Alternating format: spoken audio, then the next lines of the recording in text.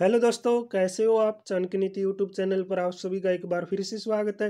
तो दोस्तों, हम कर रहे थे साइंस के इंपॉर्टेंट क्वेश्चन वन लाइनर प्रश्न है ये आपके सभी कम्पिटेटिव एग्ज़ाम में काम आएँगे। तो लास्ट तक वीडियो देखिएगा, जिन्होंने पिछला वीडियो नहीं देखा तो आप पिछले वीडियो से भी क्वेश्चन देखिएगा, वो भी आपके नेक्स्ट एग्ज़ाम में काफ़ी फ़ायदेमंद रहेंगे।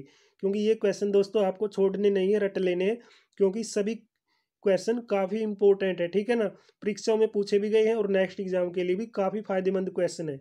तो लास्ट तक वीडियो देखिएगा, ज़्यादा से ज़्यादा शेयर करें। अगर आप फ़र्स्ट टाइम चैनल पर आए तो चैनल को ज़रूर सब्सक्राइब कीजिएगा। वीडियो अच्छी लगे तो लाइक कीजिएगा। आपका एक लाइक हमें नेक्स्ट वीडियो बनाने के लिए मोटिवेशन देता है। तो दोस्तों, आज का फ़र्स्ट प्रश्न है। गुर्दे का कार्यात्मक यूनिट क्या है? इंपॉर्टेंट प्रश्न है। गुर्दे की कार्यात्मक यूनिट क्या है? नेफ्रोन क्या है? नेफ्रोन क्या है? गुर्दे की कार्यात्मक यूनिट ठीक है ना? एक एक प्रश्न अच्छी तरीके से पढ़ेंगे तो आपको लंबे समय तक दोबारा वीडियो देखने की भी ज़रूरत नहीं, वैसे याद रहेंगे। ठीक है? किसकी कुंस क्रिया के कारण मानव शरीर में मिक्सीडीमा होता है?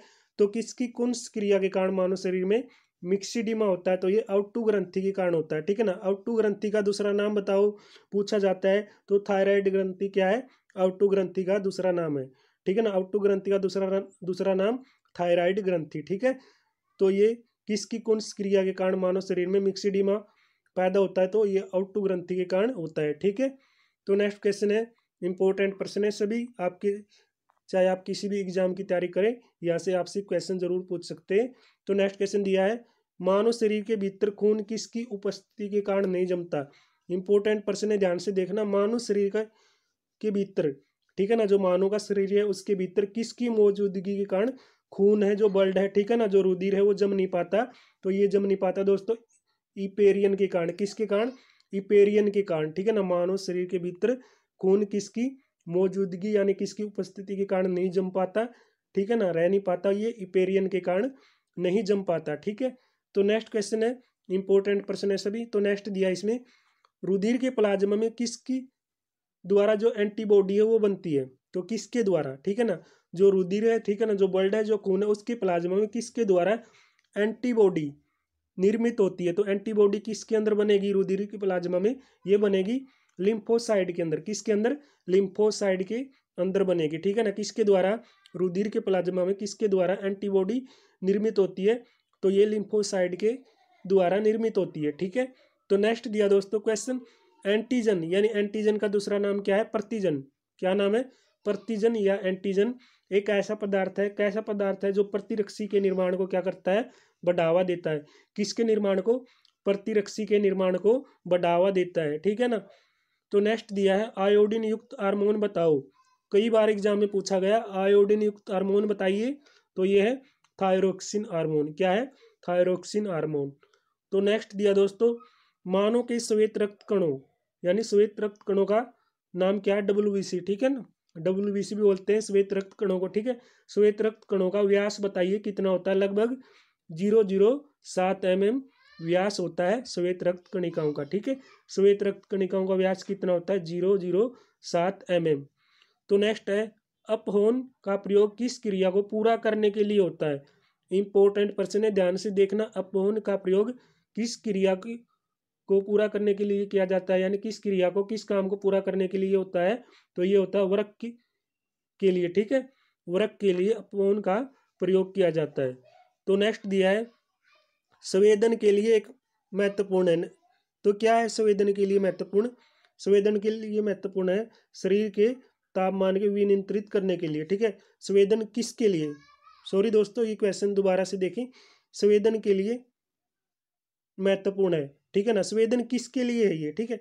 तो संवेदन किसके लिए महत्वपूर्ण है? शरीर के तापमान के विनियंत्रित करने के लिए। किसके लिए? संवेदन किसके लिए महत्वपूर्ण है?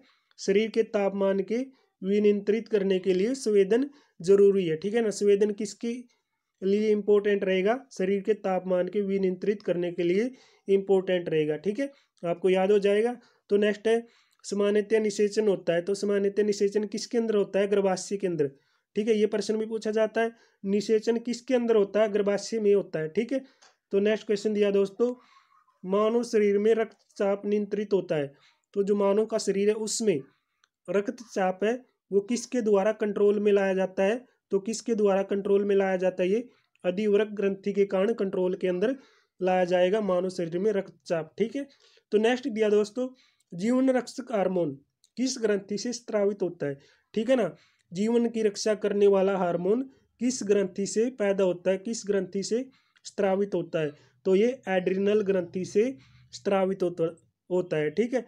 जीवन रक्षक हार्मोन किस ग्रंथि से स्त्रावित होता है? एड्रिनल ग्रंथि से, ठीक है? एड्रिनल ग्रंथि से पैदा हो जाएगा ये जीवन रक्षक हार्मोन। तो नेक्स्ट है, मानव शरीर की किस ग्रंथि को मास्टर ग्रंथि कहा जाता है? इंपॉर्टेंट प्रश्न है, कई बार पूछा भी गया, आपको आता भी होगा ये प्रश्न। तो मानव शरीर के किस ग्रंथि को मास्टर ग्रंथि कहते हैं? तो ये बोलते हैं पीयूष ग्रंथि को मास्टर ग्रंथि, ठीक है? पीयूष ग्रंथि को क्या कहा जाता है? मास्टर ग्रंथि भी कहा जाता है। तो नेक्स्ट है, मनुष्य के शरीर की सबसे छोटी ग्रंथि बताओ। ये भी इंपॉर्टेंट प्रश्न है। मनुष्य के शरीर की सबसे छोटी ग्रंथि कौन सी है? पिट्यूटरी ग्रंथि, ठीक है ना? पिट्यूटरी ग्रंथि मानव के शरीर की सबसे छोटी ग्रंथि है, ठीक है? तो नेक्स्ट क्वेश्चन है दोस्तों इंपॉर्टेंट प्रश्न है, ध्यान से देखना गर्भाशय में, ठीक है ना? जो गर्भाशय है, उसके अंदर शिशु के विकास की जानकारी हेतु किसका प्रयोग किया जाता है? ठीक है ना? अगर हमें गर्भाशय के अंदर शिशु के विकास की जानकारी लेनी है इन्फॉर्मेशन लेनी है, ठीक है ना? कि बच्चे का विकास अच्छी तरीके से हो रहा है या नहीं हो रहा गर्भाशय के अंदर। अगर हमें ये पता लगाना है तो किसकी सहायता लेंगे, किसका प्रयोग किया जाएगा? अल्ट्रासाउंड का, ठीक है ना? किसका प्रयोग किया जाएगा? अल्ट्रासाउंड का प्रयोग किया जाएगा गर्भाशय में शिशु के विकास की जानकारी के लिए, ठीक है? तो नेक्स्ट है भूरण के विकास के लिए किस अंग के द्वारा खाद्य की पूर्ति की जाती है? ठीक है ना, जो भूरण है, ठीक है ना, जो बच्चे होता है स्टार्टिंग में गर्भाशय के अंदर, उसके विकास के लिए किस अंग के द्वारा खाद्य की पूर्ति की जाती है, यानी उसको खाना किसकी ज़रिए पहुँचाया जाएगा, ठीक है ना भूरण के विकास विकास के लिए स्टार्टिंग में। ठीक है भूरण के विकास के लिए किस अंग के द्वारा खाद्य की पूर्ति की जाती है तो किस अंग के द्वारा खाद्य की पूर्ति की जाती है बीजाडंसन क्या है ये?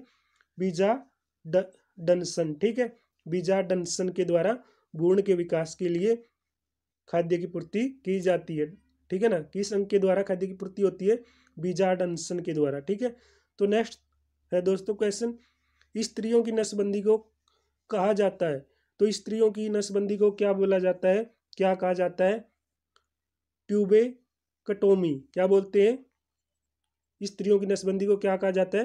ट्यूबे कटोमी, ठीक है? स्त्रियों की नसबंदी को क्या कहा जाता है? ट्यूबे कटोमी बोला जाता है, ठीक है? तो नेक्स्ट है, गाय और भैंस के थनों में दूध उतारने के लिए किस हार्मोन की सुई लगाई जाती है? इंपॉर्टेंट प्रश्न पूछ सकते हैं। जो गाय और भैंस के थन होते हैं, उनके अंदर जो दूध होता है, उस दूध को उतारने के लिए किस हार्मोन किस हार्मोन की सुई का प्रयोग किया जाता है? तो किस हार्मोन की सुई का प्रयोग किया जाएगा? तो ये प्रयोग में लाई जाएगी ऑक्सीटोसिन हार्मोन की सुई लाई जाएगी प्रयोग के अंदर गाय और भैंस के थने के अंदर जो दूध होता है उसको उतारने के लिए, ठीक है? थनों में जो दूध होता है उस दूध को उतारने के लिए ऑक्सीटोसिन हार्मोन की सुई का प्रयोग किया जाता है, ठीक है? तो नेक्स्ट है थायराइड ग्रंथि, ठीक है? थायराइड ग्रंथि से थायरोक्सिन स्त्रावित करने के लिए उत्तेजित करने वाला अंत स्त्रावित हार्मोन कौन सा है? इंपॉर्टेंट है ये भी। टी एस एच हार्मोन है ये। कौन सा हार्मोन है? टी एस एच कौन सा ये? टी एस एच ठीक है? थायराइड ग्रंथि होती है जो थायराइड ग्रंथि से थायरोक्सिन स्त्रावित करने के लिए उत्तेजित करने वाला अंत स्त्रावित हार्मोन कौन सा है? टी एस एच तो नेक्स्ट दिया है, मायोग्लोबिन। तो मायोग्लोबिन में कौन सी धातु होती है? कौन सी धातु होती है? तांबा। और खून के अंदर कौन सी धातु पाई जाती है? लोहा। ठीक है? मायोग्लोबिन में कौन सी धातु होती है? तांबा। तो नेक्स्ट है, एक वैश्विक पुरुष के लिए सामान्य हीमोग्लोबिन मात्रा। प्रति दस एम रक्त है। ठीक है ना, दस एम रक्त तो ये पाँच जी एम हो जाएगी, ठीक है? एक वैश्य एक युवा पुरुष है जो सामान्य हीमोग्लोबिन हीमोग्लोबिन की मात्रा प्रति लेता है सौ एम ठीक है? तो पाँच जी ठीक है? नेक्स्ट क्वेश्चन है, मानव शरीर का सामान्य तापमान बताओ। तो ये कितना है? Ninety degree Celsius. कितना दोस्तों सॉरी नाइन डिग्री सेल्सियस। ठीक है ना? नौ डिग्री सेल्सियस मानव शरीर का सामान्य तापमान है, ठीक है? तो नेक्स्ट क्वेश्चन है, किस शारीरिक प्रक्रम से प्रोथोबिन का संबंध है? तो किस शारीरिक प्रक्रम से प्रोथोबिन का संबंध रहेगा?